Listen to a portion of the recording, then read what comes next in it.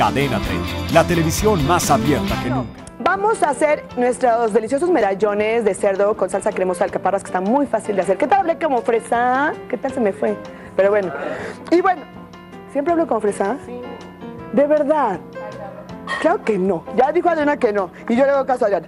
Estoy picando finamente mis alcaparras. Las alcaparras son estas pequeñas como aceitunitas, que a mí la verdad me gustan ahora. Antes no me gustaban para nada. Es más, las quitaba del bacalao que hacía mi abuela tan rico.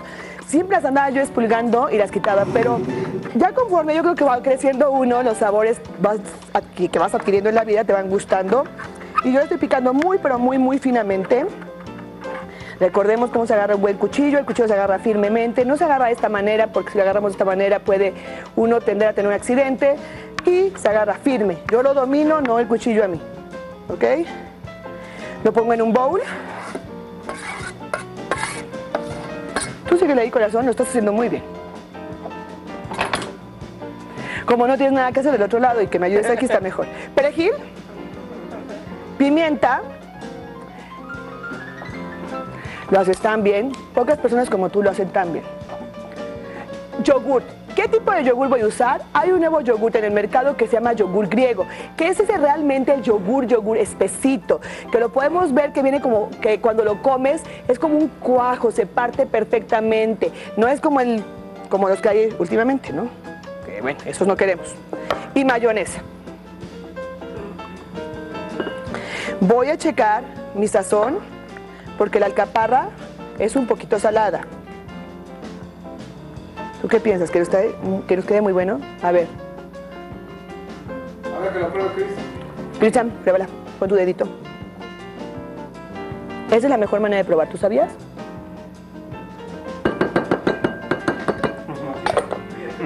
Está rica, ¿verdad? Más te valía decir eso, porque si no, te iba yo a despedir de pinche. Listo. Ahora, fíjate bien lo que vamos a hacer. ¡Ay, no! ¡Que nadie se mueva! Porque es una tabla de picar, porque estamos en medallones. No te muevas, Cristian. Esa es una caña de carne de cerdo. Recuerden que la carne de cerdo es la que más me gusta a mí cocinar. Creo que soy fan de la cocina de, la carne de cerdo. Y ese es un filete que también lo tenemos muchas veces olvidados. Con eso se pueden hacer unos medallones deliciosos como el que voy a hacer en este momento. Usted los puede hacer del ancho que usted quiera. Platícame, ¿cómo has estado en la vida? Bien. Qué bueno, me da harto gusto.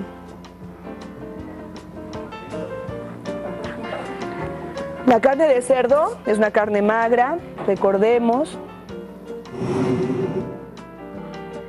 El cuchillo ideal aquí se llama un cuchillo filetero, pero yo ahorita estoy escasa de cuchillos fileteros. Esto que están viendo aquí se llama espejo, que yo no se lo quiero quitar. Me parece que es muy buena opción tenerlo. Pues porque le da cierta grasita, como para que, para que le dé más sabor, porque si no así como que siempre está tan plain.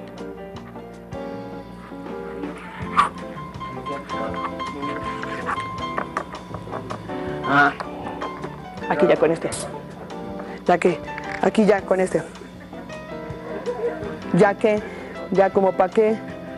Aquí miren, aquí estamos. Siempre me había gustado hacer esto como le hacían los carniceros cuando hacen las... Ah, muy bien, sigues ahí. Ah, qué bueno. es que eso es todo. Es una temperatura muy bajita, muy bajita, ¿ok? Estamos listos. Esta puntita se la voy a quitar. Ok, está bien. Ya cocina se molestó conmigo porque los puse a trabajar y no les hice caso. Ok, ¿vas bien? ¿Tú, tú, tú? Muy bien. Vamos a empanizar. ¿Qué necesitamos para empanizar? Harina. A la harina le vamos a poner sal. Huevo. Huevos. Pásame la sal. Mensis. Aquí la mejor manera es ponerle su pimientita. Mi salsa está lista, ¿eh? Así como la vende fácil, ya está lista la salsa. Cristian sigue, no me lo molesten que se me distrae. Vamos a poner sal a nuestra harina. Y tanta sal a nuestros lomitos, a nuestros filetitos.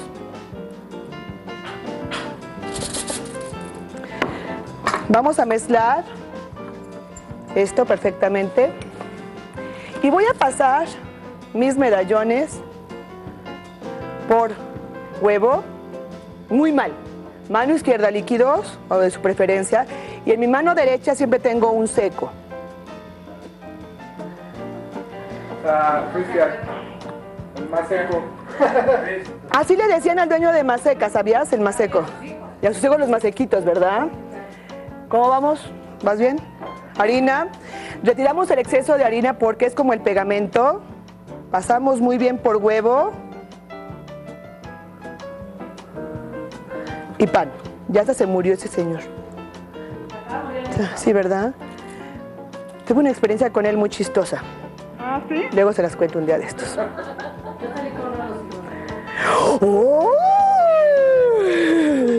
Yo no tanto con el señor, pero.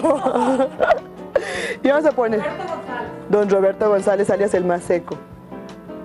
Creó un emporio. Sí, ¿verdad? Sí, a esas son las cosas que me gustan. Una gran historia de ¿Cómo vas? Mira, ya está empezando a espesar, lo estás haciendo perfecto. Qué pesón, ¿no? Para que ese sabor te lo olvide. No me lo molesten ustedes, yo soy la única que lo puede molestar. ¿Por qué? Porque si no se me distrae y la, y la... Mira, ahí va, ahí va ya, ahí va ya, ahí va. Ya hasta agarró ritmo. eh. ¿Qué haría yo sin ti, Cristian, en esta ocasión? Harina, mano derecha secos. Bueno, más ha trabajado. Hoy va a trabajar muchísimo, entonces déjamelo aquí. Ah, es, con- si te portas mal te encierro como holgazana, ¿eh? Miren. Empanizado perfecto. Harina, huevo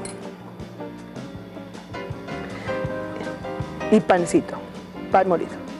El pan molido a mí me gusta mucho, pero me gusta más cuando yo lo hago en casa, con los desperdicios, no desperdicios, que no son desperdicios, con el pan duro, que ahora se endurece al otro día, es increíble, de verdad, ¿qué les cuesta a las panificadoras? Pero ¿saben quién tiene la culpa? Nosotros.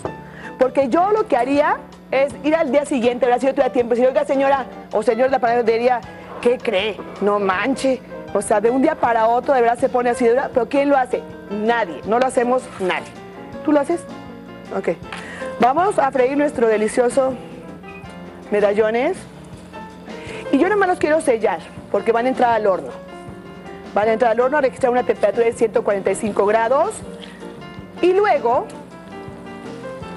aquí nada más se están sellando, es muy importante decirlo. Ah, ¿verdad, Cristian? No, si está, está muy caliente aquí. Digo, a poco. Sí, la, sí. Miren qué ricura. Wow. Cristian, tú muy bien, ¿eh? Tú muy bien. Ya voy, señor, ya voy, ya voy, ya voy.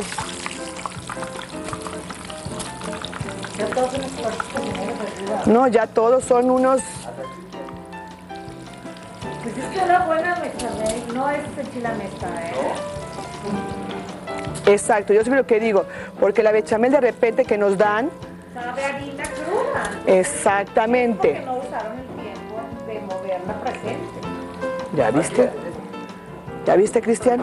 Ahora sí, Cristian, tienes dos trabajos. Seguir con la bechamel moviéndolo y meter estos medallones al horno a que registren una temperatura de 145 grados. ¿Qué les quedó la receta? Si quieres más, te invito a suscribirte al canal de YouTube y así podrás tener contigo nuestro recetario virtual cuando lo necesites.